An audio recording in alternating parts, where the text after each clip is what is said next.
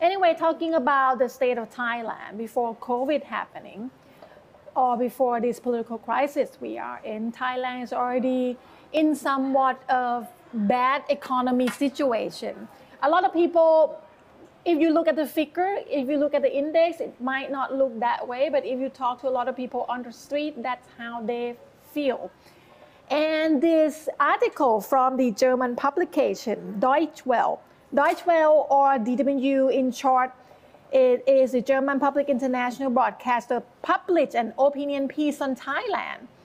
It said pandemic and protest Thailand's double whammy and said Thailand needs structural reforms to avoid falling into the middle income trap.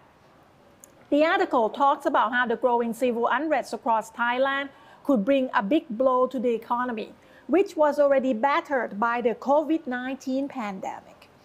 The Thai economy saw its worst contraction in over two decades in the second quarter, shrinking by as much as 12.2% as the coronavirus outbreak battered the key drivers of trade and tourism.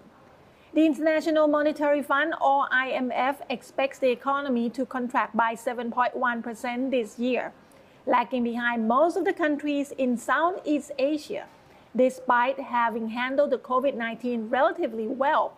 So, experts say that Thailand must boost productivity, especially that of manufacturing firms, and revive private investment.